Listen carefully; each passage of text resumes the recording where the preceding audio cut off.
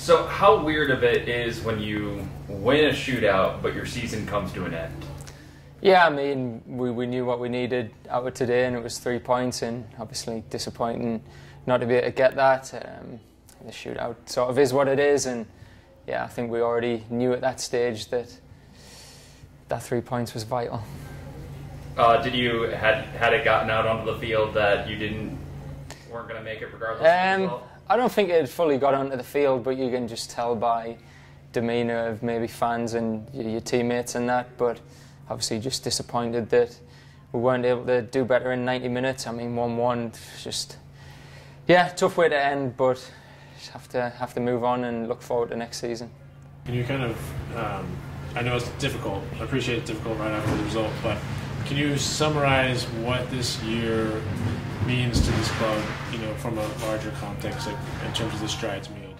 Yeah, obviously it was a big step in the right direction for the club. Um, obviously, been some ups and downs and a lot of new stuff happening, which is that's that's what you expect going into a, new league and building a new team. But there's been some some great moments as well.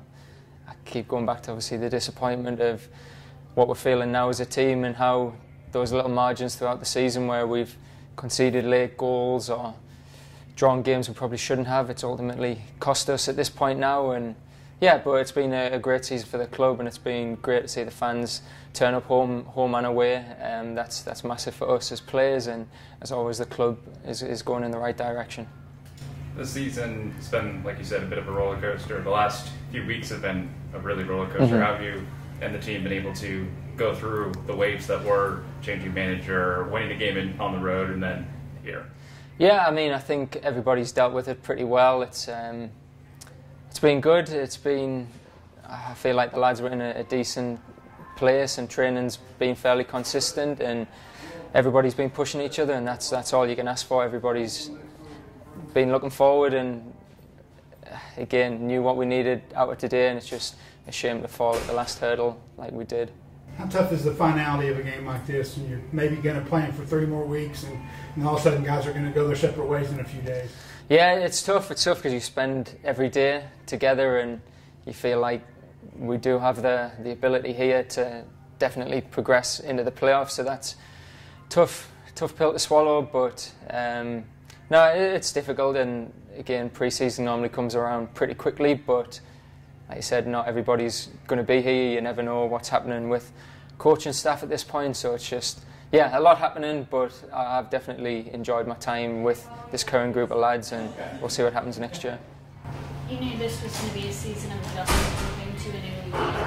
Ultimately, you guys don't finish where you want, but how much do you think that's going to help be a motivating factor for this club in the future? Yeah, I think it has to be. Um, going into the, the season, obviously you, you're not too sure what to expect, but I think the club's done done a good job of almost increasing every area of the um, just the workload in general, like the front office and tickets. Everything has been a big shift from the last few seasons that I've even seen. So, like I say, credit to the club for, for taking on a lot, and I think more than holding its own in, in this league and at, at some point proving how, how you can do things properly and how you can do things as an independent team. So I think CFC is always going to be going the right way, and I mean it motivates you as a player, especially to fall at a, another hurdle. You, you you want to be back up and, and running again as soon as possible. So yeah, it definitely gives me motivation to look forward to next year. Um, and yeah, definitely want to see some success in, in Chattanooga while I'm here.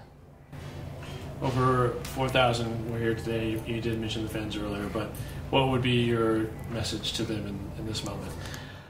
I would, I would just apologise probably for, like I said, the disappointment of the moment and like I said, we, we stitched ourselves up a little bit throughout the season, conceding certain goals in certain games. But that's that's football. It's credit to them, no matter how we're playing for the most part, they still turn up home and away, and that's that's massive for us as a player. And me being here for a little bit of time now, you want to give back as much as you can, and hopefully that's always my goal: is is how can you give back to the fans, how can you give back to the city, and have a successful team here in Chattanooga.